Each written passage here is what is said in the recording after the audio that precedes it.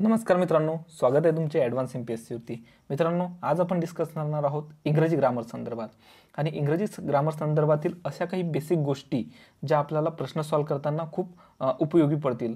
आजचं जे काही लेक्चर आहे आपलं तर हे एक इंट्रोडक्टरी लेक्चर असेल ज्यामध्ये काही बेसिक गोष्टी आपण शिकणार आहोत. बघा स्टार्ट करूया एका शब्दापासून.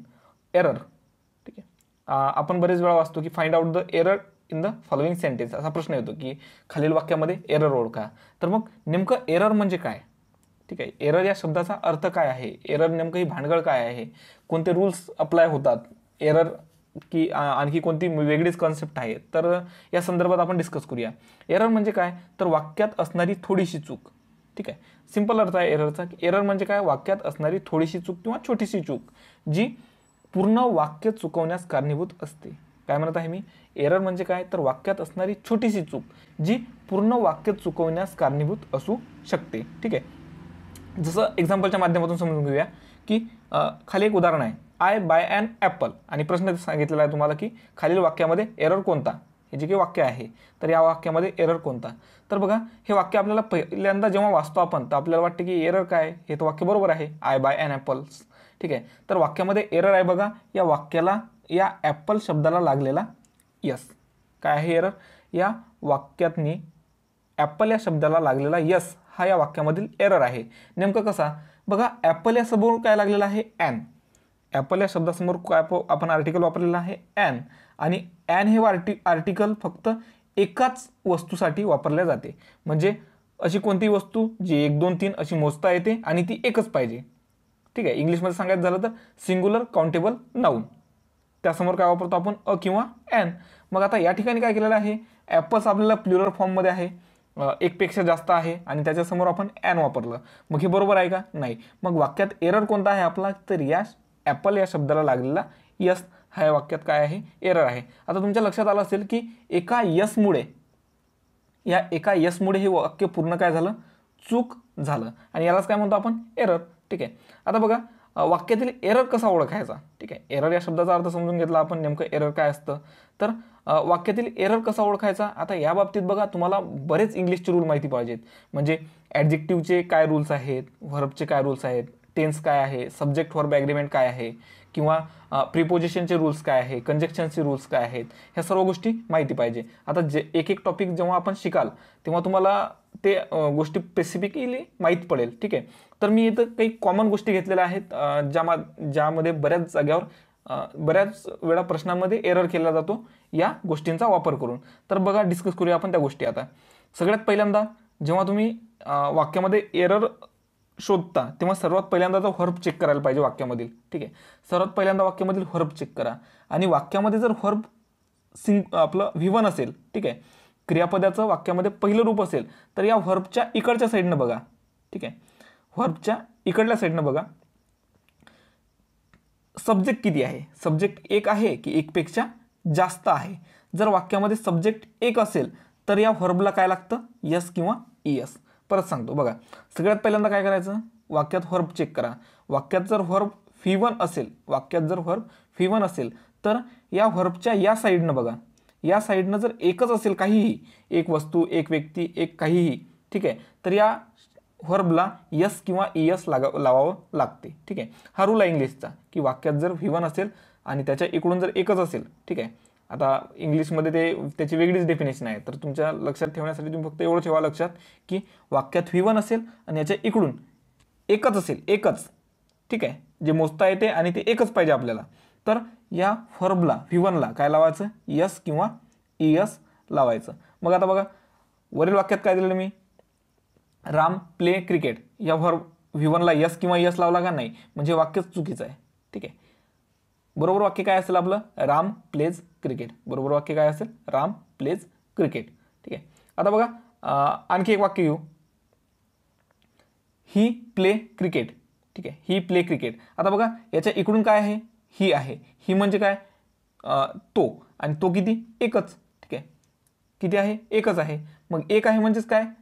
या व्हर्बला काय लावायला पाहिजे आपण? यस किंवा ई एस ठीक आहे यस किंवा ई एस म्हणून वाक्य कोणतं बरोबर असेल आपलं?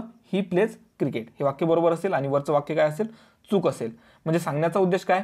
तर जर वाक्यामध्ये व्ही वन असेल ठीक आहे ठीक आहे असं नोट डाऊन करून घ्या. जर वाक्यामध्ये व्ही वन असेल तर या व्ही वनच्या इकडून चेक करा.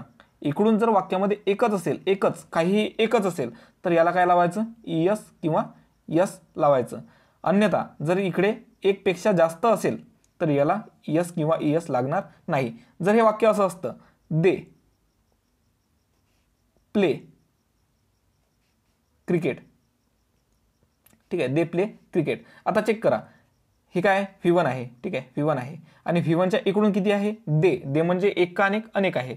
अनेक आहे. अनेक जर असेल त्याला यस यस यस लावायचं का? नाही लावायचं. पण जर इथं ही असेल तर मग ही म्हणजे किती? एक. मग याला की काय लागेल? यस किंवा यस लागेल. कळलं? आता बघा समोर बघू.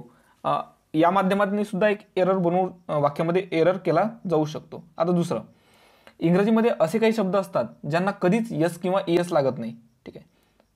लक्ष देऊ नये का इंग्रजीमधील असे काही शब्द असतात ज्यांना यस किंवा ई यस कधीच लागत नाही. म्हणजे त्या शब्दाला तुम्ही इंग्रजीमध्ये कुठेही पहा ते शब्द विदाऊट यस किंवा इयसचेच दिसतात. आणि जर तशा शब्दांना यस किंवा इयस लावून दिसला वाक्यामध्ये तर ते वाक्य पुरत चूक असते. पूर्ण वाक्य चुकीचं असते. मग असे शब्द कोणते? तर फर्निचर म्युझिक शिप डियर आणि स्वाईन हे शब्द आणि लगेज. हे शब्द असे असतात या शब्दांना कधीच यस किंवा इयस लागत नाही. समजून घेऊया याला आपण एक्झाम्पलच्या माध्यमातून. बघा एक्झाम्पल आहे की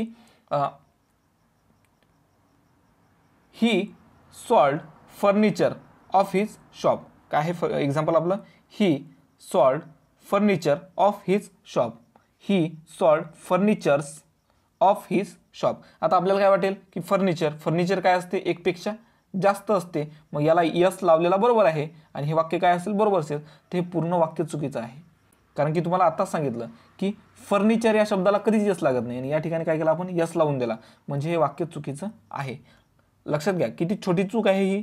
यसची फक्त एका शब्दाला आपण यस लावला. आणि या यसमुळं काय झालं? हे पूर्ण वाक्य चुकीचं झालं. मला एक गोष्ट सांगा की तुम्हाला या वाक्याचा अर्थ समजणं काही आवश्यक आहे का? या वाक्यामध्ये एरर शोधण्यासाठी? नाही. मग ही गोष्ट लक्षात ठेवा की वाक्यामध्ये एरर शोधण्यासाठी वाक्याचा अर्थ माहीत असणे याची म्हणजे माहीत असणेच अशी काही अट नाही आहे ठीक आहे? तुम्ही तुम्हाला कॉमन रूल्स जरी माहीत असतील तरी तुम्ही एरर शोधू शकता. मग बरोबर वाक्य काय आहे आपलं? He sold all furniture of his shop. He sold all furniture of his shop या फर्निचरला यस लागलेला आहे का? नाही. लक्षात ठेवा गाठ मारून ठेवा आपल्या माइंडमध्ये की हे जे शब्द दिले मी furniture music sheep deer swine आणि लगेज या शब्दांना इंग्रजीमध्ये यस किंवा इयस लागत नाही.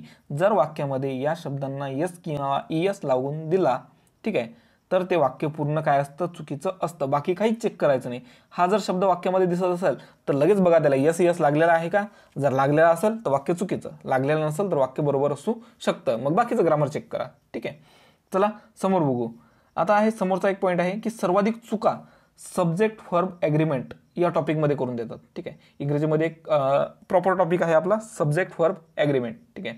तर सब्जेक्ट फॉर्म ॲग्रीमेंट हा खूप मोठा टॉपिक आहे. आणि त्यावर प्रत्येक एक्झाममध्ये दोन ते तीन प्रश्न विचारले जातात. ठीक आहे? प्रत्येक एक्झाममध्ये म्हणत आहे. दोन ते तीन प्रश्न असतात. म्हणून हा टॉपिक एकदम व्यवस्थित करायचा. कारण की यामध्ये बऱ्याच वेळा एरर करून दिला जातो. एरर म्हणजे काय? तर वाक्यात असलेली छोटी चूक. आता लक्षात आली. आणि मग सब्जेक्ट फॉर ॲग्रीमेंटमध्ये सुद्धा एकदम छोटी चूक करून देतं आणि तिथं आपल्याला ओळखावं लागतं. आता कोणत्याही वाक्यात जर सेम हा शब्द असेल कोणत्याही वाक्यात जर सेम हा शब्द वापरलेला असेल तर या सेम समोर द लिहिलेलं पाहिजेच. जर नसेल तर ती चुकीचं असते. कोणत्या वाक्यात सेम हा शब्द असेल तर त्याच्यासमोर द असतेच नाहीतर ते वाक्य चुकीचं असतं. ठीक आहे? लक्षात ठेवा. कोणत्याही वाक्यामध्ये जर सेम हा शब्द असेल तर तो सेम एकटा असतो का नाही? त्याच्यासोबत नेहमी काय असतो? द असतो. ठीक आहे?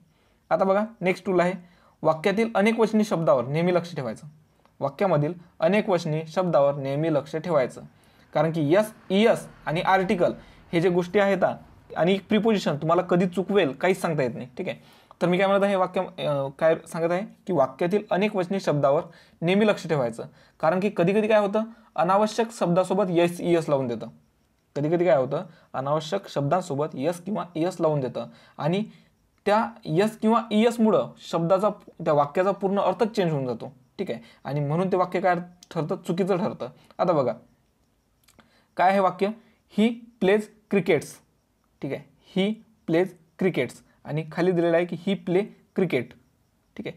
ही प्ले क्रिकेट आता बघा. ही प्लेच क्रिकेट्स बरोबर आहे का? नाही. कारण की या क्रिकेटला काय लावला? यस आता या क्रिकेटचा अर्थ काय होतो? रातकिडे. ठीक आहे? या क्रिकेटचा अर्थ काय होतो? रात किडे आता तो रातकिडी खेळणार आहे का? असं कुठं वाक्य आहे असतं का? नाही. म्हणून हे काय असेल? चुकीचं असेल. कारण की या क्रिकेटला काय लावलेला आपण? यस लावलेला आहे. ठीक आहे? आता बघा. मी एक खाली वाक्य लिहिलं. याच्यासमोर बरोबरचं चिन्ह मारलेलं आहे. आता तुम्ही विचार करा ही वाक्य बरोबर असेल का? He plays sorry he play cricket he play cricket आता हे वाक्य तुम्हाला बरोबरचं चिन्ह दिसत आहे आणि ठीक आहे तुम्ही म्हणाल की हे बरोबर आहे ही प्ले क्रिकेट कारण की याला क्रिकेटला यशसुद्धा लावलेला नाही आहे पण तरीही हे वाक्य काय आहे? चुकीचं आहे. हे वाक्य काय आहे? चुकीचं आहे. आता वाक्यात चूक काय आहे? तर मी वाक्यात जे सांगितलं तुम्हाला सुरुवातीला की वाक्यात जर व्ही वन असेल आणि व्ही वनच्या इकडून जर एकच असेल वाक्यात जर व्ही वन असेल व्ही वनच्या सुरुवातीला इकडून एकच असेल तर या व्ही वनला काय लावतो आपण? यस किंवा ई एस यस किंवा ई एस मग वाक्यात पहा आता. इथं व्ही वन आहे याच्या इकडून ही आहे ही एकटाच आहे. म्हणून या प्लेला काय लागलेलं पाहिजे? प्लेज ठीक आहे? प्लेला काय लागलेलं पाहिजे? यस म्हणून या काय होईल? प्लेज ठीक आहे? म्हणजे हे दोन्ही वाक्य काय असतील? चुकीचे ठरतील. आता मी हा रूल सांगितला तुम्हाला की वाक्यात व्ही वन असलं पाहिजे आणि व्ही वनच्या इकडून एकच असलं पाहिजे. तर याला यस किंवा ई एस लावतो आपण. पण याला एक अपवाद आहे आणि तो अपवाद नेहमी लक्षात ठेवायचा. इकडून काय पाहिजे? एकच पाहिजे. पण इकडून आय किंवा यू असेल आता आय आणि यू हे सुद्धा एकच आहे. ठीक आहे? आय आणि यू हे सुद्धा एकच आहे. मग तुम्ही म्हणसाल की आय आणि यू आहे इकडून. जर इकडून जर आय असेल तर मग याला यस किंवा यस लावायचा का नाही? तर नाही लावायचा. ठीक आहे? लावायचा नाही. फक्त आय आणि यू हे एकच असून सुद्धा याला या फी वनला यस किंवा यस लागत नाही. ठीक आहे? आय आणि यू हे एकच असून सुद्धा फी वनला ठीक आहे. इकडून जर आय आणि यू असेल ठीक आहे इकडून जर आय आणि यू असेल तर या व्ही वनला यस किंवा यस लागतं का? तर लागत नाही.